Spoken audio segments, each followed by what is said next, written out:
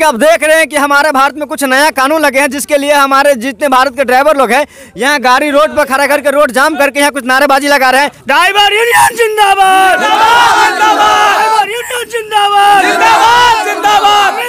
मुर्दाबाद! मुर्दाबाद! काला कानून वापस लो! वापस लो वापस लो! काला कानून वापस लो! वापस लो वापस लो! ऐसा कानून नहीं चलेगी! नहीं चलेगी नहीं चलेगी! ड्राइवर यूनियन जिंदाबाद! जिंदाबाद! आप देख रहे हैं कि हमारे भारत में कुछ नया कानून लगे हैं जिसके लिए हमारे जितने भारत के ड्राइवर लोग हैं, यहाँ गाड़ी रोड पर खड़ा करके, रोड जाम करके यहाँ कुछ नारेबाजी लगा रहे हैं। आइए हम ड्राइवर से बात करते हैं। हाँ बोलिए। हम लोग के ऊपर जो ये कानून व्यवस्था लगाई गई है, ये कानून नहीं चलने वाली है। हम लोग को मजदूरी क्या मिलता है? दो सौ रुपये पर डे दिहाड़ी है। छः हज़ार रुपये मंथली कमाते हैं। मैं एक बस ड्राइवर हूँ। साल में अगर तीन बार एक्सीडेंट हो गया तो तीस साल हमारा ज़िंदगी जेल में गया। सात या इक्कीस लाख रुपया जुर्माना हम कहाँ से भरेंगे? घरारी बेच के भी मेरा नहीं भरा पाएगा। इसलिए नियम को वापस ले अन्यथा हम टोटल ट्रांसपोर्टर ड्राइवर बोल रहे हैं। ये तो तीन दिन की हड़ताल पर है नहीं वापस लिया हम लोग अनिश्चित काल हड़ताल पर बैठेंगे।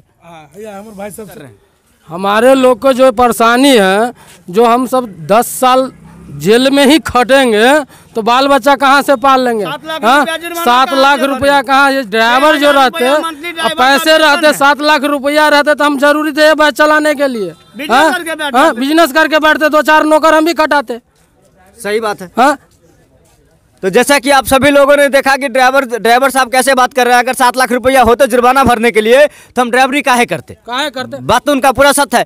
अगर अगर सात लाख रुपया किसी के पास होते तो नौकरी करने की ज़रूरत नहीं है। कोई रोज़गार कर लेते कोई धंधा कर लेते वहाँ से बैठ के कमाते। किसी को नौकरी करने के लिए या कहीं परिवार से दूर जाने के लिए कोई ज़रूरत नहीं था। है कि नहीं? उतना ही नहीं हम कहते हैं देश की आर्थिक व्यवस्था किसके ऊपर है? एक ड्राइवर के ऊपर है। हमारे देश पर नौजवान आज भारत पाकिस्तान की युद्ध हो जाए तो वहाँ भी हमारे ड्राइवर ही सेना को लेकर जाने वाला है। मिलता है और ये मिलता है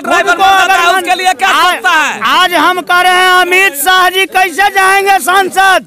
उनका भी ड्राइवर नहीं जाएगा। आज राष्ट्रपति कैसे जाएँगे? आज प्रधानमंत्री कैसे जाएँगे? उसका भी ड्राइवर को बहन चोद कर मान चक्का जाम कर दिया लीजिए किसी जो भी गाड़ी ड्राइवर है किसी से दुर्घटना अगर होता है तो ठीक है अगर बोलता है हिट एंड रन अगर भागेगा नहीं तो पब्लिक उसको ज़िंदा रहने देगा। नहीं ना रहने देगा। वैसे ही पब्लिक मार देगा। उसको हॉस्पिटल तो कैसे रुकेगा? वो तो जान बचाव भगवे करेगा।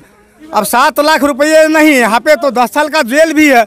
उसका जो चार बाल बच्चा है वो तो वैसे ही रोड पे मर जाएगा भूखे। नहीं, नहीं, दूसरी बात हम एक्सीडेंटल करते हैं। अगर हम पब्लिक मेरे से ही एक्सीडेंट हुआ अगर हम उनको उठा के हॉस्पिटल पहुंचाएँगे तब तक पब्लिक हमको ऊपर पहुँचा देगा। आप कहते हैं उस पर भी मतलब कार्रवाई किया जाएगा। हम यहाँ से पटना चलते हैं। एक्सीडेंट है मुजफ्फरपुर में किए। मेरे परिवार का लोग वहाँ रहेगा पहचानने के लिए जो फलाने आदमी मेरे बेटा को भी मार दिया। बहुत एक काला कानून है इनको सरकार को वापस लेना चाहिए। किसी भी हाल में सरकार को इसको वापस लेना पड़ेगा नहीं तो हम लोग सरकार गिरा देंगे। हम लोगों को सरकार गिराने का भी है ताकत। है है, हम लोग गिराना जानते हैं तो सरकार गिराना भी जानते हैं। सरकार गिरा देंगे हम। तो जैसा कि आप लोगों ने सुना कि ये ये तो एक कहावत की तरह हो गई कि इधर सिंदूरदान हुआ नहीं या पत्नी विधवा हो गई। तो यही हुआ 2024 में हमारे भारत की प्रधानमंत्री के सरकार बनने वाला था।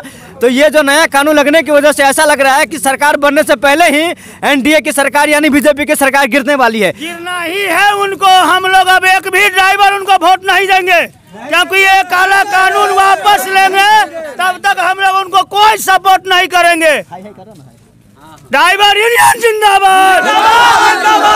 यूनियन जिंदाबाद जिंदाबाद अमित शाह मुर्दाबाद मुर्दाबाद काला कानून वापस लो वापस लो वापस लो काला कानून वापस लो वापस लो। ऐसा कानून नहीं चलेगी। नहीं चलेगी नहीं चलेगी। ड्राइवर यूनियन जिंदाबाद। जिंदाबाद जिंदाबाद। तो जैसा कि आप लोगों ने देख लिया कि यहाँ जितने भी ड्राइवर लोग हैं ये सब हमारे अमित शाह के ऊपर मुर्दाबाद के नारे लगा रहे हैं। तो इससे सबसे अच्छा यही होगा कि अमित शाह से हम गुजारिश करते हैं कि ये जो नया कानून लगाए हैं ड्राइवरों के लिए उनको वापस लिया जाए।